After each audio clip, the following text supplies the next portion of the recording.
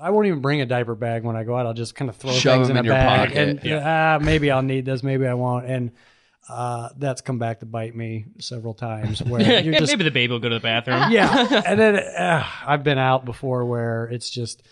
Yeah, there's just like poop dripping down the legs, and you're talking, hanging out with someone, and I was like, "Oh, I don't know how I'm going to change this." And there's no, you know, there's no, there doesn't seem to ever be any guy changing tables in any g- men's rooms. Yeah, either. yeah. So uh, I'm changing in the most just random. You got to go to like spots. a Right, yeah. Friendly's Do or they, like a. you, have you ever tried to just IHOP. go into the women's restroom? I guess that's what you have to do, right? I, I that would be nice, uh, but I end up the times I've done. I've gone to the men's room, gone into a stall, closed the door, and just put the baby on the floor.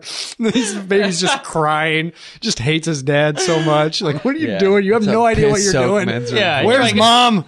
Like walk in there, look under the stall, be like, "Is this one occupied? Occupied? Okay." It's leaving. like what? What's worse, the floor or like going like perpendicular to the toilet seat? Going.